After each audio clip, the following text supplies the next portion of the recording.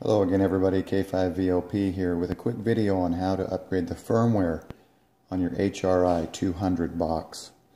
First of all, download the software from the WiresX user page. You log in and download the software. You want to unplug the box, have it separate from your radio and everything else.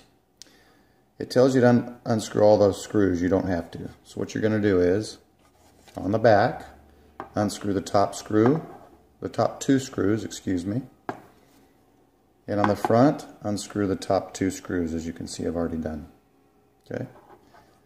Don't be too intimidated by this firmware upgrade. I've been upgrading and building computers since I was 15, but there's really not a whole lot to it. So you've, you've taken off those top two, or top, yeah, top four screws. Pull the, pull the lid off, and you'll see the insides. Don't touch anything. don't uh, don't get anything spilt on it or magnets or anything. All you do is see that little screw right or that little switch right there.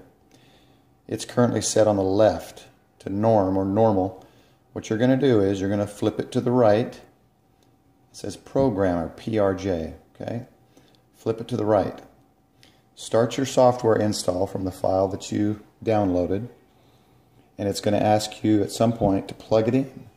So plug in the USB to the computer, continue the program, it'll update the firmware. When it's done, it'll tell you. And when it's done, go ahead and unplug the USB, flip the switch back to normal, and put the case back on. Four, two screws in the front, two screws in the back, you're good to go. I did this about a week and a half ago, uh, late late December I did it. Um, Works fine. I've had no problems. So good luck. Hope this helps. 73. K5 VOP clear.